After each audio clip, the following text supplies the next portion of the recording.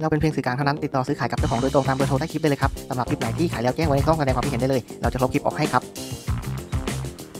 ช่อง YP สวัสดีครับคลิปนี้ผมก็มาชี้เป้ารถสวยๆถูกๆท่านผู้ชมในเลือกซื้อเลือกใช้นะครับคันนี้รถปี 2005 ครับ กับราคาย่อมเยาเพียง 39,000 บาทเท่านั้นเองสภาพดีพร้อมใช้ได้เลยพร้อมสปอยเลอร์หลังหล่อๆครับตัวสีอาจจะมีตำหนิริ้วรอยกันบ้างครับตามนี้ครับรีวิวดูกันเรื่อยๆก่อนถ้าไม่ซีเรียสเรื่องสีก็ขี่ใช้งานกันคุ้มๆ ภายในเบาะสภาพดีครับ ไม่ขาดเกียร์ธรรมดากระจกไฟฟ้าทั้ง 4 บานห้องโดยสารสะอาดทั้งหน้าทั้งหลังครับดิสก์เบรกสี่ล้อนะครับคันนี้หน้าปัดเรือนไมล์ใช้ได้แผงประตูสวยงามไม่แตกหักไม่ชำรุดพวงมาลัย power กระจกไฟฟ้าใช้ได้ครบ หน้าเดิมหลังเดิมไม่มีชนหนักครับ ประตูซ้ายขวาเส้นตะเข็บเดิมรอบคันนะครับบอดี้สวยมากน้ำมันล้วนๆวิ่งทางไกลสบายๆช่วงล่างแน่น เลี้ยวซ้ายขวาไม่ดัง ภายในสะอาด แอร์เย็นจนหนาวเลยทีเดียว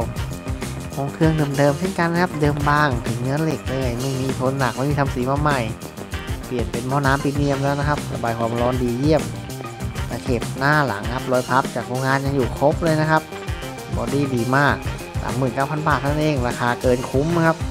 ถ้าชอบฝากกดติดตามกดถูกใจไว้ให้ด้วย มีมาให้เลือกซื้อกันประจำแต่มีพาคลิปใหม่ๆนะครับ ฝากกดติดตามกดถูกใจไว้ให้ด้วยนะครับ